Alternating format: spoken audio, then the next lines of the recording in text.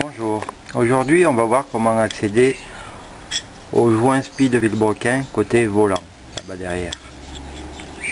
Donc il faut déposer le carter volant, comme la dernière fois, dépose de la durite. Si le sélecteur est en position basse, pas de souci, on peut le laisser. S'il est un peu plus haut, rien que comme ça, ou là, ou là, il faut le lever, il va gêner. Et je défais les 5 BTR là et là. Voilà, j'ai enlevé les 5 BTR. Bon, s'il y a longtemps que ça n'a pas été démonté, vous tapez un peu à droite, à gauche, dessus, dessous avec un maillet pour décoller le joint. moi, il ne reste pas collé. Je l'ai fait il y a deux jours. Et alors, il gêne un peu quand même, hein, le kiki. Voilà, c'est déposé. Voici le volant magnétique. Alors, le but du jeu, enlever cet écrou là. Et ensuite, il faut un arrache moyeu ou l'arrache volant magnétique pour le décoller car il est monté sur un emmanchement conique, souvent très très très serré, coincé on dira. C'est un écrou de 19, on va avoir du mal à le démonter évidemment parce que le volant tourne en même temps. Le sens de dévissage, eh ben, c'est contraire aux aiguilles d'une montre, hein, c'est un pas normal. L'outil idéal pour le démontage, c'est une espèce de triangle avec deux ergots, un qui correspond là, un là, et qu'on fixe ou de toute façon qui vient faire buter là quand on dessert. Je vous présente enfin l'outil nécessaire pour bloquer le volant imaginé par notre ami Thierry, là dans sa position euh, à plat tout seul, et là dans sa position montée. Notez qu'il peut être nécessaire de s'en servir quand on démonte l'embrayage pour défaire l'écrou de cloche. L'autre outil, c'est un peu comme les filtres à huile, une espèce de bazar comme ça. Mais bon, moi je m'en sers pas.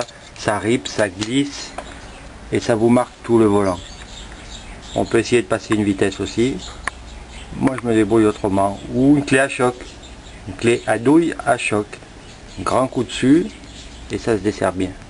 Voilà, mon écrou est bienvenu juste avec ma clé à pipe de 19 et un ou deux coups secs en bout avec une petite massette. D'un coup ça se dessert. Après, vous voyez, desserrage normal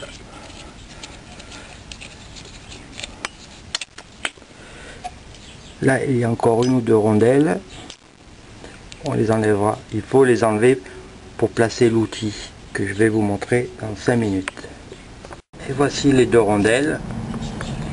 La grower fendue. D'ailleurs, c'est une fendue. Et une assez épaisse qui va au fond. Oh merde. Pour arriver à l'enlever, j'ai basculé la moto vers moi comme ça. Secoué un peu, tapoté et elle est sortie la volant.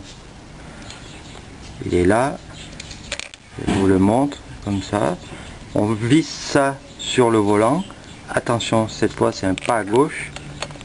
Donc on visse en tournant vers la gauche. Et le, le visser le plus profondément possible dans le volant. Et ensuite, on fera sortir le volant en vissant celle-là. Et ça, c'est un pas à droite par contre, tout à fait normal bien le rentrer au maximum. Si, vous rentrez le rentrez que de 3 ou 4 filets, quand vous allez serrer ici, et eh ben les filets vont s'arracher. Et adieu la rage volant. Voilà, j'ai donné un dernier coup de clé, c'est très très dur et d'un coup, paf, ça lâche. Et le volant qui vient vers vous. Là c'est bon, il est desserré. Attention à ne pas perdre la petite clavette qui se trouve derrière. Je vais vous la montrer dès que je l'enlève. Et voilà le volant avec les quatre masses magnétiques. C'est ce qui retient un peu quand on essaye de le sortir. Ça, il s'aimante un peu de partout, c'est très dur à sortir. Et j'ai levé l'outil, hein, puisque au remontage, il sert absolument à rien. Et voici ce qu'on trouve à l'intérieur. Et là, on voit la bobine d'allumage, la bobine d'éclairage et de charge, le condensateur est dans cette position, il est, passe à travers. Le petit feutre, il faudra penser à mettre une petite goutte d'huile de vaseline qui viendra lubrifier l'intérieur du volant qui frotte. L'érupteur, là, avec les contacts, là, qui sont d'ailleurs pas mal usés. Quand vous changez le rupteur complet, j'espère qu'on verra bien. Voilà, là. Dans un premier temps, essayez d'aligner cette encoche sur le rupteur, sur la petite platine du rupteur, avec l'encoche qui est sur la platine fixe sur le moteur. Dans un premier temps, c'est déjà un réglage pas mal. Sinon, pour le régler, on dévisse là ici on verra mieux en travers il y a un repère qu'on voit à travers le volant par un des trous du volant pour s'aligner. Voilà pour enlever la platine cette vis là et celle là très très dur à défaire. Je sais même pas si je vais y arriver j'ai pas de clé à choc. Idéal un tournevis à choc. Et avant de défaire la platine pour ne pas arracher les fils il faut détendre la petite patte là qui en fait une patte en fer qui maintient le faisceau contre là. La fameuse petite clavette, elle est là. Une petite clavette en demi-lune. Le côté plat sur le dessus, la demi-lune, comme ça, dans sa rainure. Là, elle est là, elle bouge pas trop, c'est bon, je vais la laisser, comme ça je la perdrai pas. Voilà, j'y suis arrivé avec du mal. Je pense que la prochaine fois, même cette fois-ci, ça serait bien de les changer. Une, la deuxième. Voilà. Ne pas oublier de détordre la languette pour ne pas arracher les fils. C'est facile, elle est assez souple. Ensuite, on peut décoller la plaque, la platine. Vous voyez? Peut-être pas assez aussi voilà. Voilà pourquoi il faut détordre la plaquette qui maintient les fils. Et ça, on peut laisser de côté. Voilà l'arrière du, condensateur. Les branchements. 539. On laisse ça de côté. Et voilà le fameux joint SPI. Il est là, au fond. Je vais pas le changer, vous savez que je l'ai fait il n'y a pas longtemps. Hein. Là, quelques vis pour quand on veut séparer le moteur, les deux demi-carters moteur.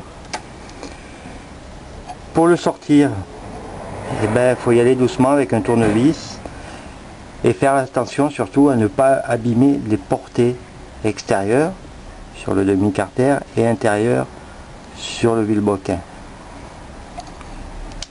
Voilà, c'est comme ça que ça se passe. Et ça se passe en général bien puisque le joint n'est ni sec ni rouillé.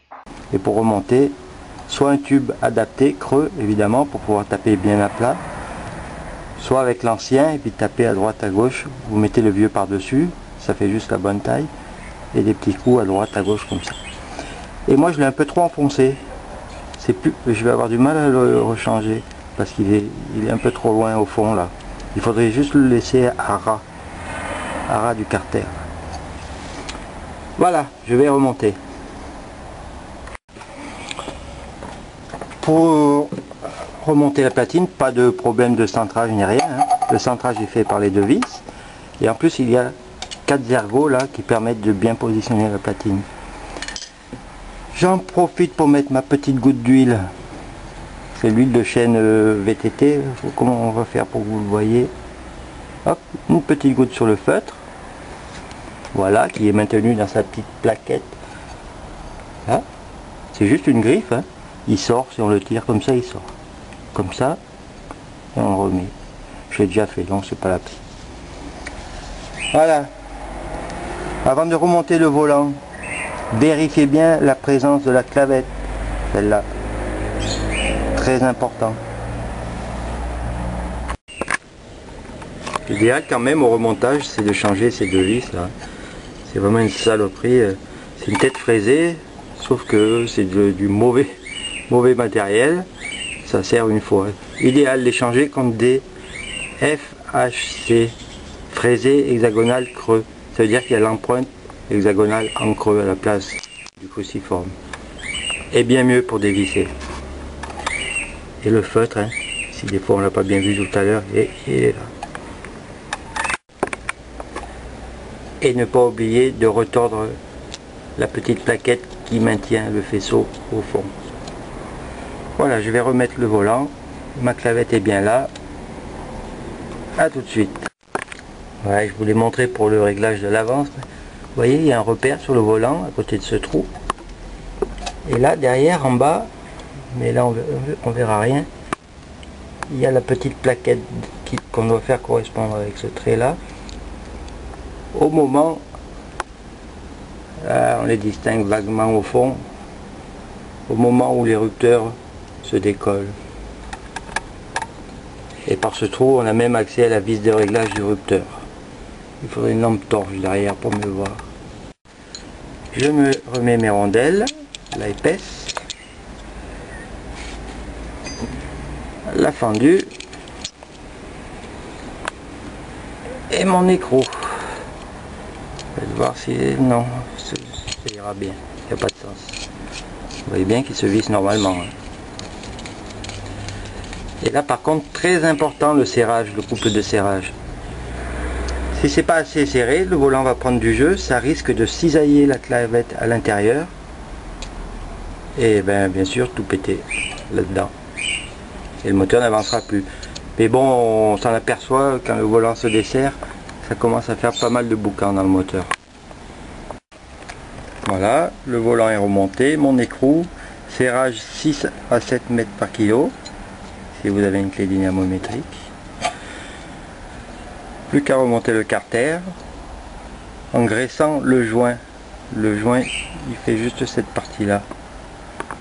Là, là et là. Là, il n'y a rien, c'est creux évidemment, hein, a le pignon. Et voilà mon carter presque remonté. Serrage en croix. Hein. D'abord toute juste à fleur là au contact. Et ensuite en croix. Tac, là tac, tac, et là. Les petits coups à chaque fois, hein. Pas un serré à fond et les autres rien. Les petits coups à chaque fois. Voilà. Il n'y a plus qu'à